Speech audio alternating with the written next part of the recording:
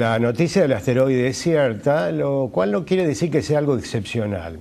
Mira, prácticamente yo que hago todas las semanas el programa de Mundo Estrellado acá, este, todas las semanas me entero de un asteroide nuevo que está por pasar cerca de la Tierra. Yo cada vez que consulto información y trato de ver las últimas noticias, de informarme, como lo hacemos todos, los que trabajamos en los medios, siempre hay algún asteroide, a veces tiene 300 metros, a veces tiene 400.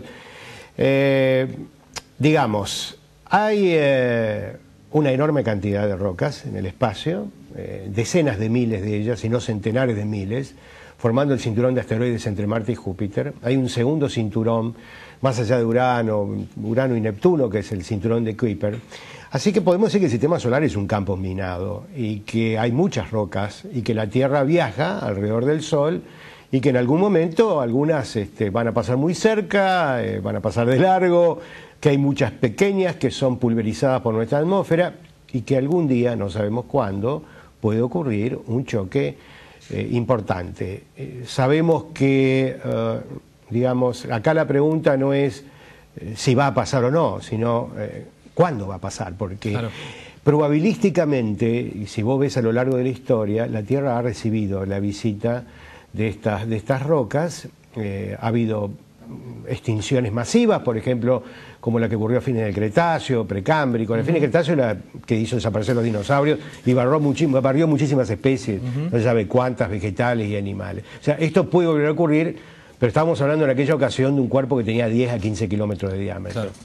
Este que pasa hoy tiene 650 metros, igual se cae en una ciudad, puede armar por supuesto un flor de lío. Sí, porque leí que viajaba a unos 1,8 millones de kilómetros, ¿puede ser? ¿Tanto? Sí, sí, sí, este, puede ser. Eh, digamos, el, a ver, los asteroides son rocas que cuando pasan cerca del Sol también son aceleradas, el paso cercano de planetas masivos como Júpiter y Saturno también pueden desviar su trayectoria.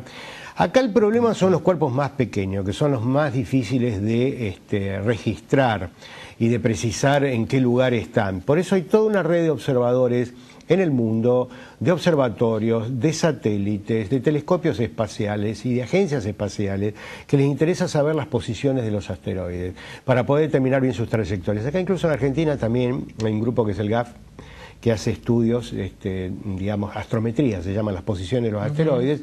Nosotros también hemos sido invitados y hemos hecho algunos trabajos y tenemos un amigo que está, César Fornari, este, que forma parte de la Asociación de Astronomía, que tiene su propio observatorio de Oro Verde, que él también está haciendo esos trabajos y me acuerdo que hace pocas eh, semanas compartimos, este, digamos, la, la medición de la posición de dos asteroides. Así que hay todo un grupo de gente que se dedica a esto hay incluso asteroides que vos los tenés que recuperar, asteroides que de pronto se han perdido y hay que volver a saber dónde están, cuáles son sus posiciones.